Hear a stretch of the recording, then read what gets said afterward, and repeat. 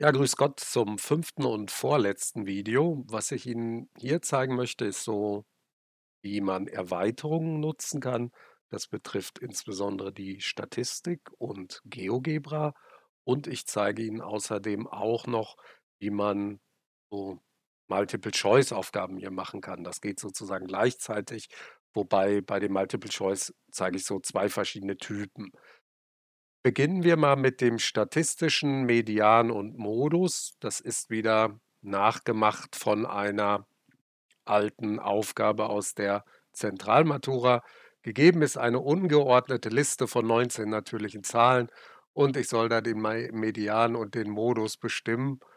Puh, das ist aber ganz schön Sucherei. Also Modus, das kriege ich, glaube ich, noch hin. Das sollte 13 sein.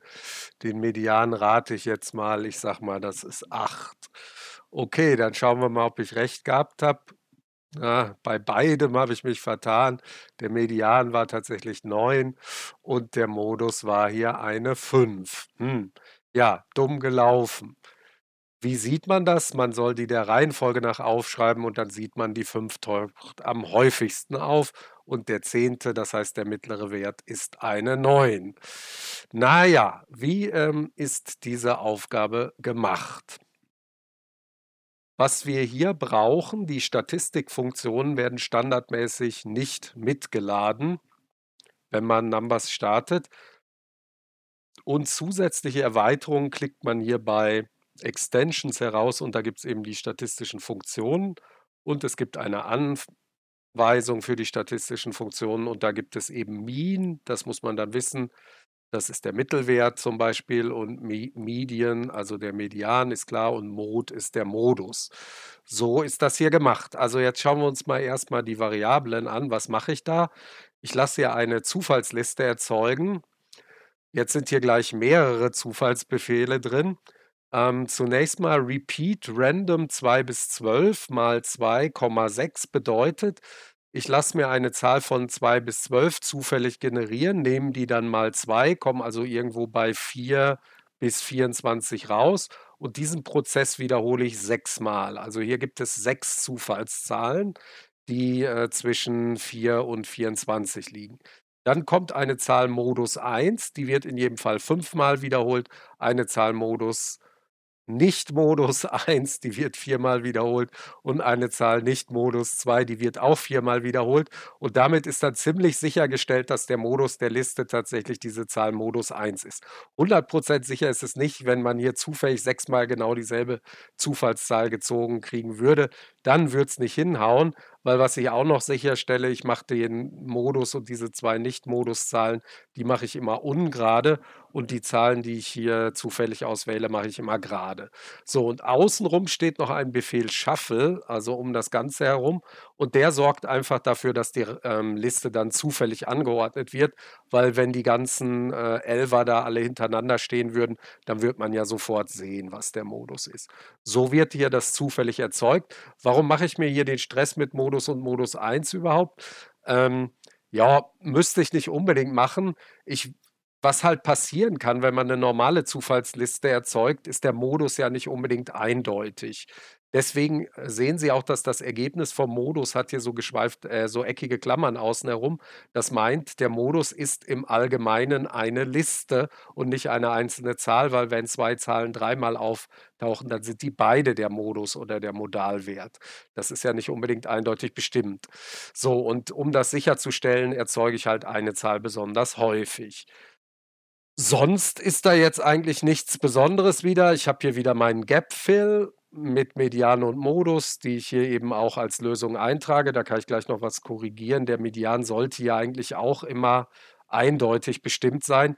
Ganz sicher ist das ja nicht. Ähm, wenn, manchmal kann das sein, dass man beim Median zwei Zahlen miteinander addieren und davon die Hälfte nehmen muss. Bei 19 Zahlen sollte eigentlich die mittlere Zahl immer eindeutig bestimmt sein. Und damit können wir hier bei Digits auch einen Nuller hinschreiben. Gut, dann haben wir das gerade noch korrigiert. Was jetzt interessant ist, man kann hier, wenn man die Empfehlung macht, es empfiehlt sich, die Liste zu sortieren. Und das ist jetzt wieder nett, wenn ich hier den Befehl Sortliste reinschreibe, kann ich mir mal im Preview ansehen, dann kriege ich halt die Liste direkt sortiert nach der Größe. Und da sehe ich natürlich sofort, ah, Da sind die 11er am häufigsten jetzt in diesem Fall und der 15er ist genau der mittlere, weil der zehnte Wert. So kann man das machen. Und damit hat man dann eben bei der Aufgabe, wenn man sich das anschaut, dann nachher eben auch diese Anleitung, die einem da diese Empfehlung gibt. Ja, das war mal die Statistikerweiterung, gibt noch eine ganze Reihe weitere statistische Funktionen, ähm, zum Beispiel auch Standardabweichungen und so. Alles, was Sie da so gewohnt sind von der Statistik, finden Sie hier. Da sehen Sie, das ist ein, ein ganzer Berg an Funktionen, wo man sich die in JSTAT dann die Dokumentation angucken kann, was diese Funktionen eigentlich machen. Das wollen wir jetzt nicht machen und wollen uns ein zweites Beispiel anschauen. Wir wechseln dazu jetzt mal in die Unterstufe und machen so ein Beispiel, was gut zu den Standards oder den IKM passen würde. Das Beispiel nennt sich Punkt im Viereck. Muss man immer etwas Geduld haben. Das ist jetzt eins, was GeoGebra nutzt. In einem Koordinatensystem wurde ein Viereck ABCD konstruiert und dieses Viereck ist tatsächlich ein GeoGebra-Applet, das zufällig Punkte ABCD erzeugt kriegt. So, jetzt soll ich einen Punkt wählen, der im Inneren liegt. Das sehe ich mit einem Blick. Das ist der Punkt 1, 2. Jetzt können wir mal schauen, ob ich mich nicht verblickt habe. Ah, ach, ich habe das scheinbar nicht angeklickt. Das ist ja blöd. Jetzt mache ich noch mal, probiere ich noch mal eine andere Aufgabe von der Art. So, dann schauen wir halt noch mal. Ähm, ich würde sagen, das ist immer noch der Punkt 1, 2. Antwort einreichen. Okay, die habe ich richtig. Und jetzt Antwort aufdecken. Und da sehen Sie, ich habe hier auch noch mal als Lösung wieder ein GeoGebra-Applet und in dieses GeoGebra-Applet lasse ich mir sogar hereinplotten die einzelnen Punkte. Wie, ähm, wie funktioniert sowas? Das kann ich Ihnen vielleicht mal zeigen, indem ich auf mein GeoGebra-Profil zunächst mal wechsle. So, und da haben Sie hier meine Vieleck-Angabe. Da ist jetzt einfach irgendwo dieses Vieleck ABCD gezeichnet und was Sie jetzt nicht sehen, außerhalb des Bildes sind auch noch die Punkte G, H, E und F gezeichnet. So, und diese URL von dieser GeoGebra-Datei in meinem Profil, die gebe ich Numbers bekannt und dann kann Numbers tatsächlich die Werte für diese Punkte austauschen. Schauen wir uns mal an, wie das gebastelt ist. In einem Koordinatensystem wurde ein Viereck konstruiert. Bitte etwas Geduld. Das ist auch noch falsch geschrieben. Geduld. Das können wir derweil gerade mal korrigieren. Äh, ja, und dann steht hier App. Was ist denn App? Schauen wir mal, was App ist. App ist ein GeoGebra-Applet. Da steht die URL und dann gibt es Devs. Was ist Devs? Devs ist eine Liste und diese Liste ist so gemacht, dass zunächst immer der Name eines GeoGebra-Objekts angegeben ist, dann Komma und jetzt ein Objekt aus Numbers. Bei mir ist das aus der Liste Eckpunkte das erste Element, B wird aus der Liste der Eckpunkte das zweite Element, C aus der Liste der Eckpunkte das dritte Element, D aus der Liste der Eckpunkte das vierte Element. Eckpunkte erzeugt hier verschiedene Vektoren aus Zufallswerten für x-Werte und y-Werte. Und hier habe ich das auch so gemacht. Urliste ist ein Shuffle, also damit wirklich die X- und Y-Werte lauter verschiedene Zahlen sind, ziehe ich da nicht mehrfach zufällig einen raus, sondern sortiere die Liste äh, 1, 3, 5, 7 beziehungsweise 2, 4, 6, 8 jedes Mal etwas anders und dadurch entstehen dann immer unterschiedliche Eckpunkte. Diese Eckpunkte übergebe ich durch diese Definition an mein GeoGebra-Applet. So, jetzt muss ich noch ähm, die Lösung erzeugen. Bei der Lösung mache ich das einfach so, äh, dass ich das Minimum der x-Werte, das Minimum der y-Werte und zufällig plus minus 1 dazu nehme. Dann erwische ich auf jeden Fall immer einen Punkt, der im Inneren dieses ähm, Vierecks herinliegen muss. Und bei den Distraktoren, das können Sie sich mal in einer ruhigen Minute nochmal genauer anschauen, da ist das im Grunde genommen so gemacht, das kann ich Ihnen hier vielleicht ähm, bei der Aufgabe nochmal zeigen. Wenn man sich die, die Antwort da ansieht, kann man sehen, wie das gemacht ist. Ich habe das so gemacht, dass ich gesagt habe, ah, ich nehme immer einen Punkt G zum Beispiel, der hat so ungefähr den Mittelwert der y-Koordinate von B und C, aber den x-Wert von der größeren Koordinate von B und C. Dann liegt er auf jeden Fall außerhalb. Genauso ist das hier bei A und D gemacht, da mache ich auch so einen Trick. Und genauso ist das hier bei D, C und H gemacht, da mache ich auch so einen Trick, der mir sicherstellt, dass dieser Distraktor jedenfalls immer außerhalb liegt, aber noch einigermaßen attraktive Lösung ist, bei der man jedenfalls nicht auf den ersten Blick sofort erkennen kann, wenn man noch nicht so geübt ist, dass ob dieser Punkt nicht auch im Inneren liegen könnte. Ja, so ist das gemacht. Ähm, und jetzt, wie geht es weiter? Bei der App-Lösung ja, da habe ich halt eine andere Definitionsliste. Da habe ich auch noch mal die Eckpunkte A, B, C, D, aber ich habe zusätzlich lasse ich noch den Lösungspunkt eintragen und ich lasse die drei Distraktorenpunkte eintragen. Das heißt, ich kann auch hier in dieser Advice, die für die Lösung ist, eben ein Applet laden lassen. Ähm, das, was jetzt immer so ein bisschen stört, ist, dass das einen Moment dauert beim Laden. Das stimmt. Das Problem ist allerdings nicht so groß, wenn Sie die Aufgaben, was wir im nächsten Video uns dann auch noch ansehen werden, zu einem Test zusammenstellen, weil dann lädt ähm, Numbers die ganzen Applets schon im Vorhinein. So, also das war jetzt mal mit einem GeoGebra Applet gemacht und äh, ist auch ein Beispiel für ein Multiple-Choice-Beispiel, was wir ja noch gar nicht gesehen hatten. So, da steht hier als Statement, welcher Punkt liegt im Inneren des Vierecks, klicke an und da habe ich jetzt die Choices und die Choices, die ähm, schreiben mir jetzt einfach den, den Lösungsvektor mit einem Punkt und die ganzen Distraktorenvektoren jeweils mit null Punkten hin. Jetzt werden Sie noch sagen, naja, ist ja blöd, wenn immer das erste die richtige Antwort ist. Ja, ja, ja. Da gibt es natürlich die Marking-Settings, äh, wo man dann sagen kann, Shuffle Order of Choices und dann wird zufällig immer die richtige Antwort an unterschiedlichen Platz gesetzt. So, Selection Type ist hier Radio Buttons. Man könnte auch Dropdown-List machen. Dann wäre das sozusagen so, dass die äh, Sachen nicht sichtbar sind, sondern man die so herausklappt aus so einer Rausklappliste, genauso wie das hier ist. Das ist aber hier jetzt nicht so sinnvoll. Number of Display Columns, da kann man noch sagen, äh, wenn man nicht will, dass die alle nebeneinander stehen, sondern zum Beispiel will, dass die alle untereinander stehen, dann sagt man eine Number of Display Column Sehen Sie, dann stehen die alle so untereinander. Oder man könnte auch sagen, es stehen immer zwei nebeneinander. Ähm, hier ist das aber so kurz, dass ich sagen würde, da kann man ruhig 0 reinschreiben. Das stört eigentlich nicht, wenn in dem Fall die vier Lösungen brav nebeneinander stehen. Ist eh schon relativ groß hier das angezeigte Applet. Ja, damit haben wir auch schon mal ein Multiple-Choice-Beispiel gesehen. So, jetzt gehen wir aber nochmal zurück ich hatte auch versprochen, dass ich Ihnen beim Quader mit der quadratischen Grundfläche das zeige. Das zeige ich jetzt relativ kurz, weil das Beispiel hatten wir ja eigentlich schon gesehen. Äh, und das geht tatsächlich auch. Also hier lasse ich jetzt den Quader da als GeoGebra-Objekt erzeugen. GeoGebra 3D sieht aber letztlich nicht so schön aus. Eingabe ist hier wieder der Vektor, das ist alles wie noch vorher.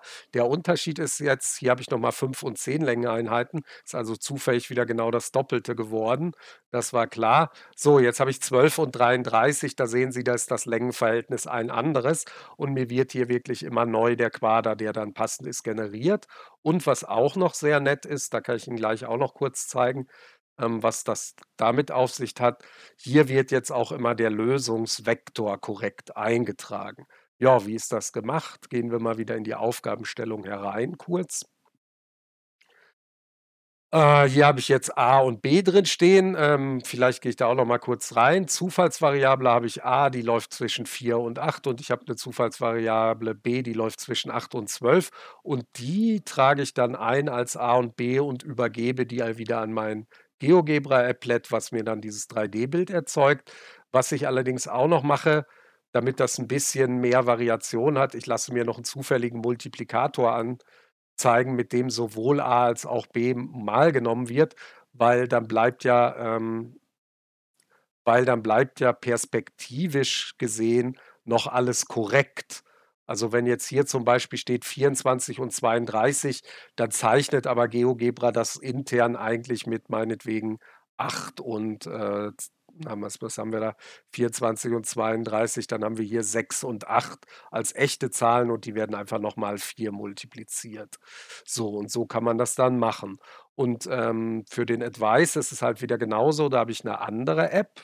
Und wenn ich hier in die in die Variable noch mal reingehe, dann übergebe ich hier der App 2 eben eine zusätzliche Definition, nämlich ein bestimmtes n.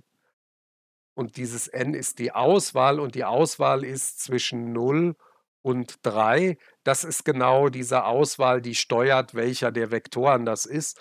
Und basierend darauf lasse ich dann in GeoGebra jeweils einen unterschiedlichen von diesen vier passenden Vektoren, die da in der Lösung drin sind. Ich kann die Lösung ja hier nochmal aufdecken. Lasse ich dann entweder den BH oder den HB oder den AG oder den GA-Vektor anzeigen. Das ist in GeoGebra relativ leicht, abhängig von so einer Zahl, verschiedene Vektoren anzeigen zu lassen. Das ist also gar nichts, was mit Numbers selbst funktioniert. Gut, dann haben wir das auch noch gesehen.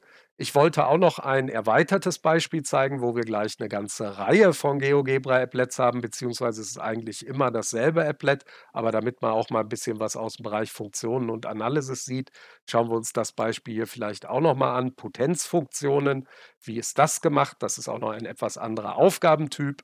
Gegeben sind die Graphen von vier verschiedenen Potenzfunktionen f mit f von x gleich a mal x hoch z sowie sechs Bedingungen für den Parameter a und den Parameter z. Dabei ist a ein eine reelle Zahl und z eine natürliche Zahl. So, und jetzt soll man hier immer sagen, ist das a kleiner oder größer 0 und was ist das z? So, können wir ja mal bei a anfangen. Bei a ist zum Beispiel das z offensichtlich eine 1 und das wächst, also ist das a auch größer als 0. Jetzt müssen wir gucken, a größer 0, z gleich 1. Das sollte stimmen. Bei b haben wir offensichtlich z gleich 3 und ein kleiner.